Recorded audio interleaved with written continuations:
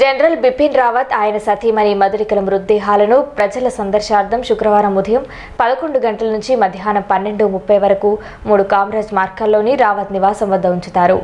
పన్నెండు ముప్పై నుంచి ఒకటి ముప్పై వరకు సైనిక సిబ్బంది నివాళులర్పిస్తారు.